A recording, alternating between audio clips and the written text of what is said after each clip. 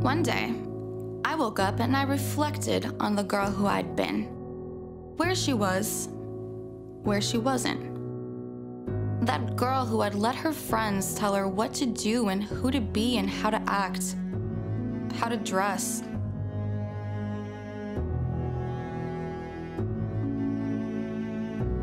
All I ever wanted was to be comfortable in my own skin, but I've always been so self destructive.